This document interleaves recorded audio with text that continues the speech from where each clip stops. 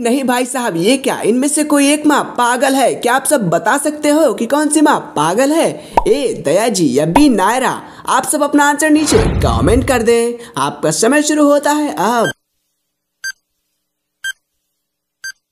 दोस्तों, अगर आप अपनी फ़ोन से ज़्यादा अपनी माँ से प्यार करते हो तो जल्दी से मेरे वीडियो को लाइक करके चैनल पब्लिक हिंदी पहले को सब्सक्राइब करना ना भूलें। Thank you.